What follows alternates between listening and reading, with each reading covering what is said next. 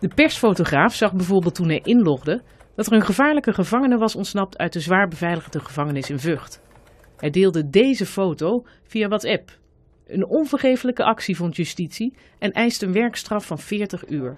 Dat was voor de rechtbank in Den Bosch nog niet hoog genoeg. Dat alles brengt de rechtbank tot uh, de volgende strafoplegging. Een werkstraf van 80 uur en daarvan de helft 40 uur voorwaardelijk met een proeftijd van twee jaar. De persfotograaf was er vandaag niet bij. Liefst had hij een uh, schuldverklaring ondertekend zonder een strafblad op te lopen. Zo'n strafblad kan je namelijk jaren achtervolgen. En de eerste gevolgen heeft hij al gemerkt. Voordat hij in die computersystemen rondneusde, had hij een baan. Die is hij nu kwijt. Het bewuste wachtwoord kreeg de persfotograaf trouwens kinderlijk eenvoudig. Het stond onderaan de nieuwsbrief die voor iedereen toegankelijk op internet stond. Het wachtwoord was ook niet ingewikkeld, vertelde de persfotograaf eerder. Welkom 123. Hij heeft er geen schade door veroorzaakt en toch is de straf pittiger dan verwacht.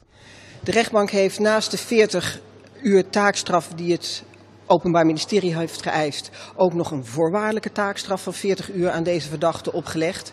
En dat heeft ermee te maken dat de rechtbank er niet van overtuigd is dat hij het niet nog een keer zal doen.